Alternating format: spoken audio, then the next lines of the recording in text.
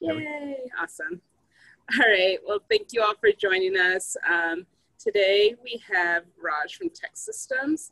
Um, he has a new title since I last um, spoke with him formally, and so I'll let him introduce himself and what he does um, with TEKsystems. Hey guys, how are you? Hopefully you can hear me all right. Um, calling in from my uh, earbuds here, so that way it's a little bit more clear, I think. Um, thanks for having me. Uh, I did this uh, last year with with Lena and the, and the class, and it was uh, it was a good time. So just happy to be back. I know these are some different times, and, and we're doing this virtually instead of in person, but uh, happy to be here. Uh, good to see all of you that are on. Um, as Lena mentioned, I do work for Tech Systems. Tech Systems is a technology services company. Um, we have 100 offices nationwide, and I uh, work here in our local San Diego office. Um, currently working from home, but uh, we have our office in La Jolla. Um, tech, uh, when I say technology services, I know that could be a million different things, but uh, one of the largest services that we offer is technology staffing. So uh, we work with a handful of companies in a variety of industries here in San Diego. So uh, we work with technology companies, Intuit, Sony PlayStation, ServiceNow, uh, Walmart Labs, et cetera, et cetera. Um, in the healthcare industry, we work with Sharp, Scripps, uh, Rady, um, Dexcom, and then so on and so forth. Thermo Fisher, I mean, there's a handful. And then in the government uh, defense space, we work with uh, your bigger uh, integrators like SAIC and Leidos. Um, and uh, I now recently focus more in our data analytics practice, but um, nonetheless still affiliated with all of the industries and uh, still, you know, I recruited for about four years prior to that, so I have a good knowledge of what the market looks like from somebody like yourself looking to enter the market here in, the next few years. I can give you some insights on the companies, on um, kind of what the, the trends are as we see them today, uh, and really just kind of how to put your best foot forward. I know there's a handful of questions that uh, Lena's outlined, so um, I can just take those as they come, and then when we open it up the floor towards the end, I can answer any specific questions that you guys have. Thank you. And I'll also ask if um, you want to, if um, anyone who's not Raj um, wants to turn off their um, computer for now. Um, and so that way we'll, it'll help us save a little bit of bandwidth. And then once we go to questions, and of course you can turn back on. So can you tell us, you told us a little bit, but can you tell us a little bit more about TEKsystems and some of the opportunities that are available? Absolutely. So um, a little bit of history on, sorry, a little bit of history on TEKsystems. Tech Systems has been around for uh, almost 40 years. Uh, they were started out in Maryland, Baltimore, um, and uh, started by actually two cousins. And we've grown, like I said, to 100 offices. We're a five and a half billion dollar company, and we focus in everything IT related. When I come, when I say IT related, I mean, um, you know, we do staffing personnel. So could be staffing software engineers, could be staffing project managers, could be business analysts, could be uh, infrastructure um, uh, individuals. We also do co-managed projects, so companies could ask us to come in and really own a, a development project or an initiative for them, business initiative for them end to end. Um, so that is our business model. What makes TEKsystems unique, um, from my opinion, uh, is that we're a very relationship-based company. So the people that we work with, the managers we work with, the individuals we work with, it's on a very relationship based um, kind of setup. So we try to get to know all of our consultants. We try to get to know all of our managers on a personal level. So that way, when we're making the match, uh, it's, it's a lot easier and people are being set up for success for the long term.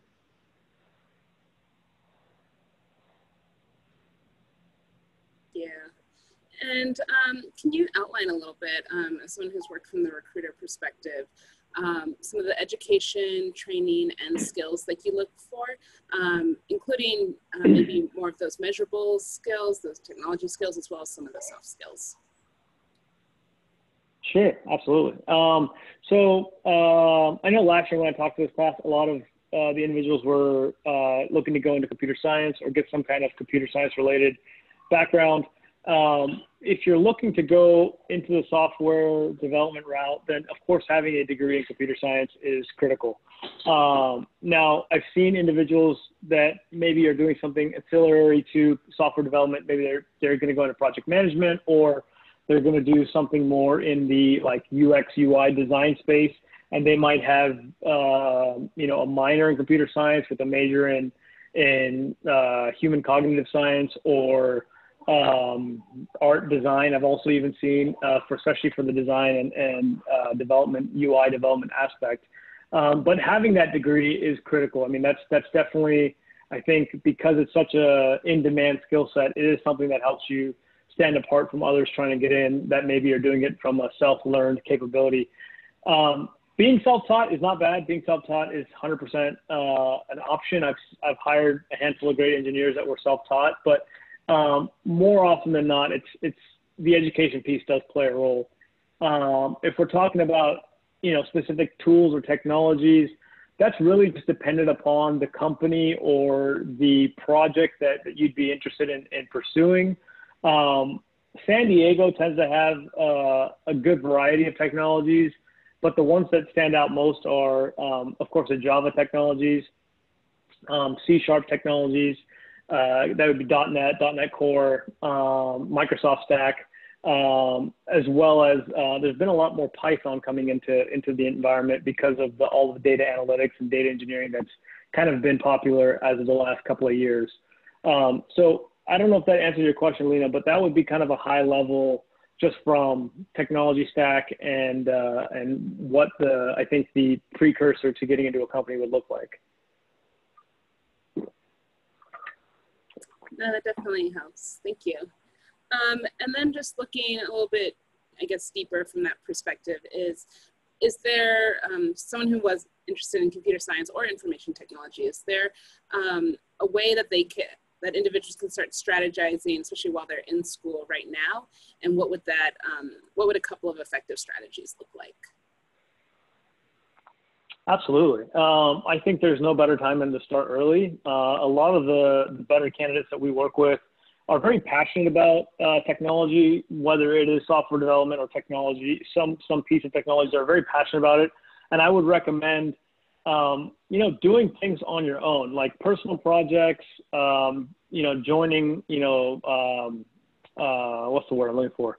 Um, like hackathons, thank you, sorry, hackathons, um, I was going to say HackerRank, which is not anything but a but a actual assessment, so don't worry about that. But hackathons, um, you know, different user groups, different meetups, just being able to put yourself into position where you're being able to practice some of the tools and technologies that you're learning, um, and really just kind of get a hands-on feel for what you're doing.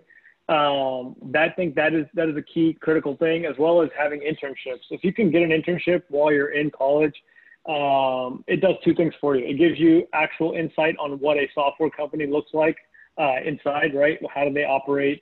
What do their day to day look like? Uh, what are some of the expectations that, that, you would have put on you if you were to enter that type of uh, role full time? Um, and then it also gives you an opportunity to kind of figure out, you know, what technology stacks or what what companies would I want to be a part of and work with. Um, so I, I definitely say internships and really just kind of being passionate about your um, your interest in technology and pursuing it in, in whatever aspect that you can.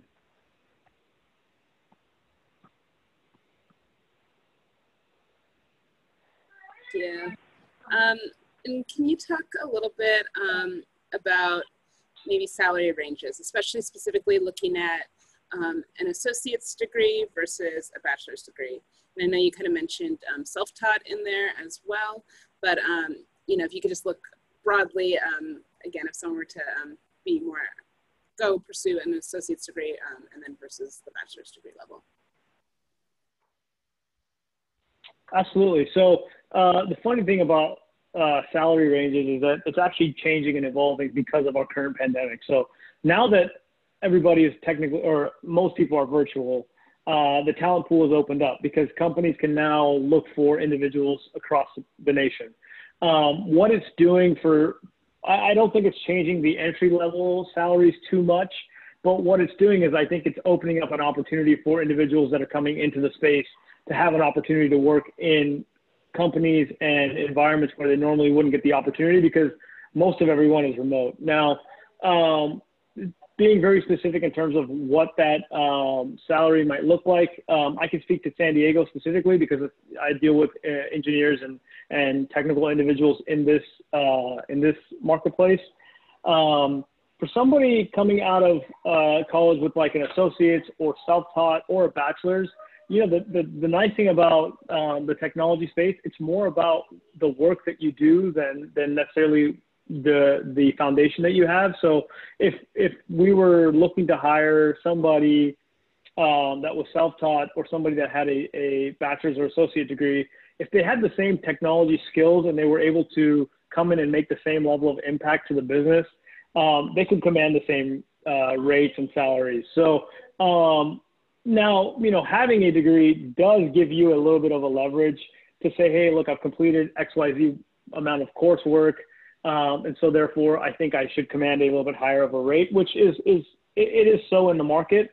Um, but uh, with, with what I've seen um, in the technology space, um, the salary ranges are higher than most um, entry level positions that you would get into.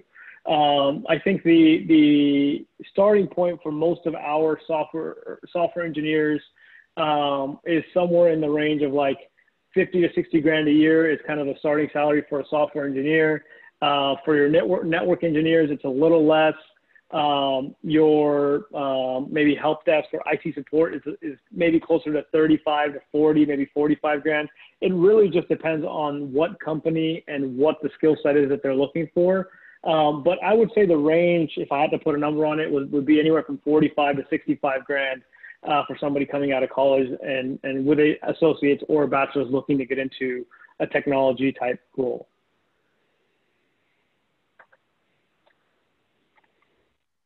Thank you. Um, and then you, we talked a little bit about the entry level um, positions. Can you um, talk a little bit more about what it would look like to um, grow with the company, specifically with um, TEKsystems. So if someone were to start off in entry level, are there opportunities for professional development or what opportun additional opportunities are there to grow with the company? Absolutely. So TEKsystems being a, you know, staffing being our core service, we'd like to work with individuals that we can work with throughout their career. So we might help you get into an entry level job and you might be there for a year or two um, just to learn some skills and, and kind of gain your, your repertoire. And then you, you know, you reach out to your recruiter again. You say, Hey, I've been here a couple of years. I'm looking to make a change.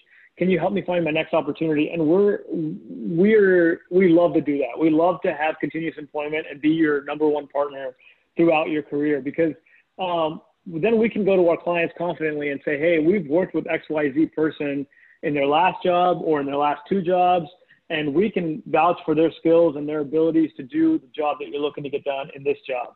So um, there is a lot of room for growth, and within the technology industry itself, things change so rapidly. I mean, I, I don't know if there's an engineer or technology personnel who doesn't change positions, whether it be internally or externally, at least every two years. I mean, the way that technology changes and, and you know, there's new technologies and there's new methodologies and new philosophies that, that are always being um, kind of brought up to the surface. And to stay marketable and to stay relevant, uh, you have to be continually learning. You have to be continually pushing yourself um, to grow not only with the company but with the trends that are in the marketplace. And so, having a good recruiting company or a recruiting partner that can give you insights and say, "Hey, the trend right now, like for me right now, the trend is a lot in data, data analytics, data insights."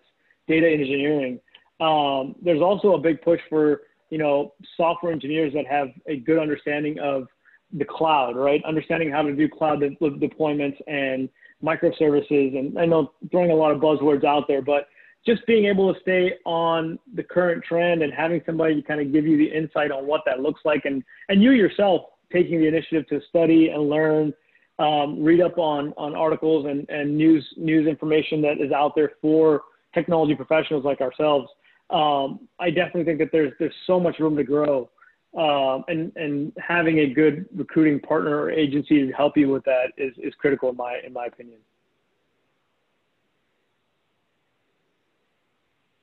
Thank you. Um, we'll actually probably start wrapping up the, the formal part and um, I'll open the floor to questions. But um, before we do, is there anything else you would like to share about um, TEKsystems? Um, you know what, we, um, we are just big on, on community and building our relationships, like I said. part of the reason why I love doing this is because I feel like I get to give a little bit more insight and give a little back a little bit more uh, to people that I wish I had insight to when I was in college.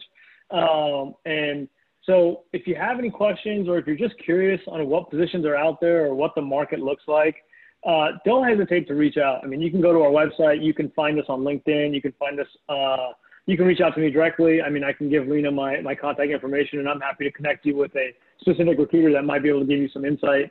Um, but I think that it's never too early to kind of start figuring out what it is that you want to do once you finish school and get into a, a, a career and having somebody kind of give you the, the guidelines or, hey, this might be a good route uh, makes it a little bit easier. So uh, feel free to reach out. I mean, we're here to help and we're here to, uh, it's a free service. I mean, we, we don't charge any of our consultants uh, a dime. We charge our clients, right? When we place you in a job, they pay us. So it's not like it's costing you anything for our knowledge, and we're happy to share it. Thank you. And thank you everyone who is joining us through the recorded session.